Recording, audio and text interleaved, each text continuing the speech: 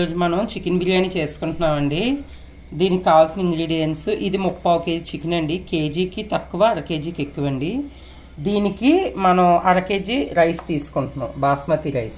ఇది నేను ఒక హాఫ్ అన్ అవర్ ముందు నానబెట్టుకున్నానండి. ఇలా కొంచెం పెద్దవి అవుతాయి నానబెట్టుకోవడం వల్ల. బియ్యం కూడా లోపల వరకు నానుతుంది. కొత్తిమీర పుదీనా అండి. ఇప్పుడు మనకి దీనికి బిర్యానీకి ఇంగ్రీడియంట్స్. ఆయిల్ అండి ఇది ఆయిల్ గీ అండి ఇది.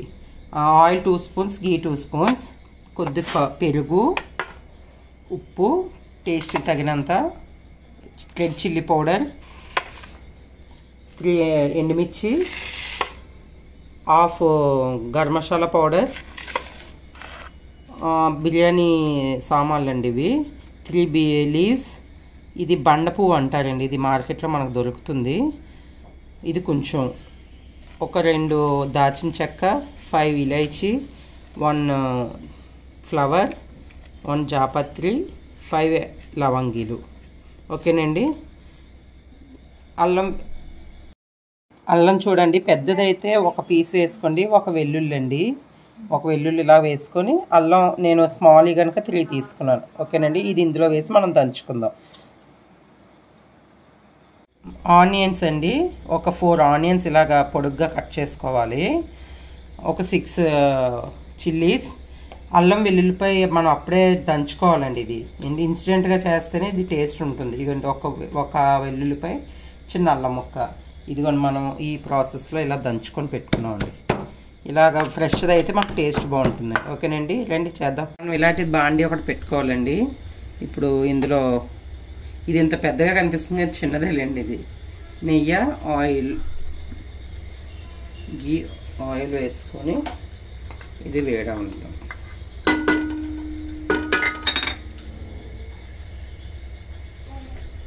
ఆయిల్ వేడెక్కాక మసాలా సామాన్లు వేద్దామండి ఇవి. ఇది టీనేజ్ గర్ల్స్కి ఈజీగా ఉంటుందని చూపిస్తున్నానండి. ఇంత ప్రాసెస్ ఎక్కువ లేకుండా. జస్ట్ ఇవన్నీ వేసుకొని మనం రైస్ అది వేసుకొని క్యాప్ పెట్టేసుకుంటాం ఎండుమిర్చి వేసుకుంటున్నామండి.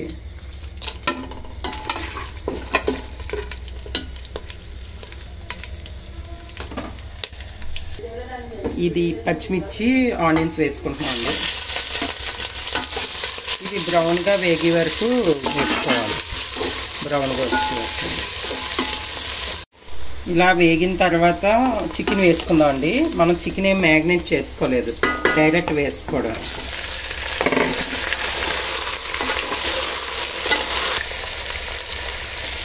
అల్లం వెల్లి పేస్ట్ వేసుకుంటున్నామండి. ఇది మనం దంచుకున్నది మొత్తం వేసుకుంటున్నాం.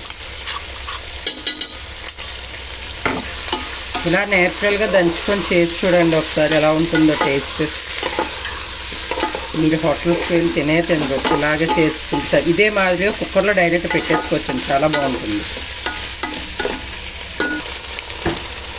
ఇప్పుడు మనం గరం మసాలా సాల్ట్ చిన్న పసుపు వేసుకోవాలండి. ఇందా నేను నీకు చూపించలేదు. కారం ఇవన్నీ ఇందులో వేసుకోవాలండి. వేసుకొని ఇలా కలుపు కొత్తిమీర పుదీనా కూడా అక్కడ వేసుకోవాలి ఇన్స్టెంట్గా అయిపోవడానికి ఈజీగా ఉంటుందండి ఇది. ఇప్పుడు ఇది బాగా వేగనిద్దాం. ఇది వేగడంలోనే టేస్ట్ బాగుంటుంది. ఓకేనండి? చూడండి ఇప్పుడు ఇలా వేగింది కదా ఆయిల్ పైకి వచ్చే వరకు వేగితే సరిపోతుంది. ఇప్పుడు మనం ఇందులో పెరుగు వేసుకుందాం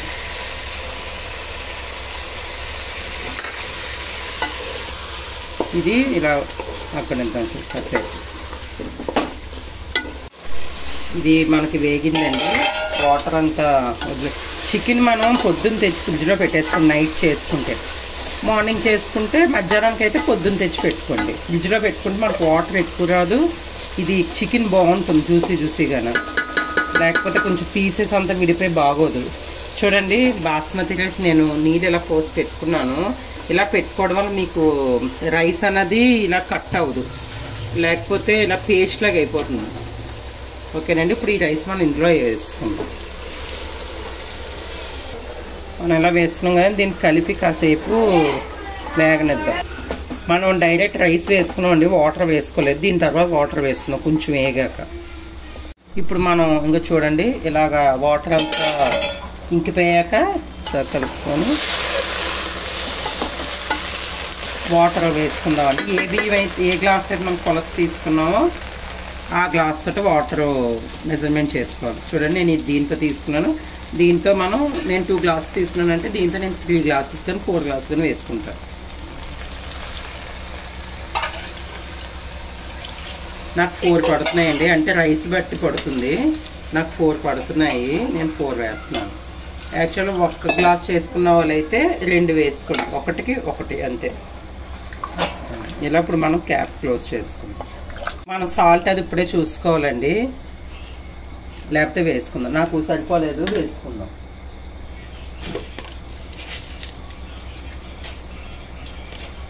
వాటర్ ఉప్పుగా ఉన్నప్పుడే మనకి ఉప్పు సరిపోయినట్లు లెక్కండి. వాటర్ ఉప్పుగా ఉండాలి. అప్పుడు మనకు సరిపోయినట్లు లెక్క. ఓకేనండి? ఇదిగోండి ఫ్రెండ్స్. ఇలాగా ఉన్నప్పుడు మధ్య మధ్యలో కలుపుకుంటూ ఉండండి. లేకపోతే అడుగు పడుతుంది. ఇదిగో చూడండి వాటర్ అయిపోతుంది అనగా స్లిమ్ చేసేయండి ఇది. ఓకే అండి స్లోలో పెట్టేసుకుని స్టవ్ ఇదిగోండి ఫ్రెండ్స్ మన బిర్యానీ అయిపోయింది. ఇప్పుడు మనం ఇంకా స్టవ్ ఆపలేదండి. దీనికి ముందు ఏం చేయాలంటే ఇది చూడండి మీకు ఐడియా ఉందో ఉంటుంది బొగ్గు అంటారు కదండి. మరి ఇది ఇంగ్లీష్లో ఏమంటారు నాకు తెలియదు ప్లీజ్ ఏమనుకోకండి. ఇది మనం స్టవ్ మేము పెట్టి కాల్చుకుందామండి.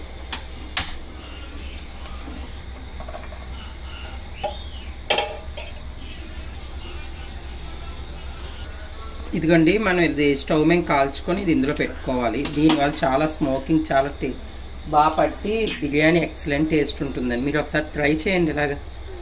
ఇదిగోండి ఇలా నెయ్యి వేసుకోవాలండి ఇందులో. ఇప్పుడు ఈ స్మోకింగ్ వస్తుంది కదా క్యాప్ వేసుకోవాలి. స్టవ్ కట్టేసుకున్నానండి బిర్యానీ స్టవ్ కట్టేసుకున్న తర్వాత ఈ ప్రాసెస్ చేయండి. సరేనండి?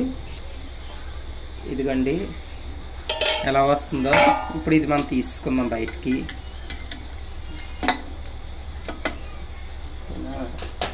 ఇప్పుడు ఇదంతా మిక్స్ చేసుకోవాలండి ఎందుకంటే అది స్మోక్ స్మెల్ మొత్తం బిర్యానీకి పడుతుంది.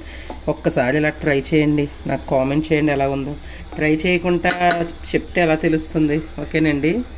ఓకేనండి. మన బిర్యానీ రెడీ అయిపోయింది. ఎలా ఉందో మీరు వండుకొని టేస్ట్ చూసి నాకు చెప్పండి. ఓకేనండి? ఓకేనండి. బాయ్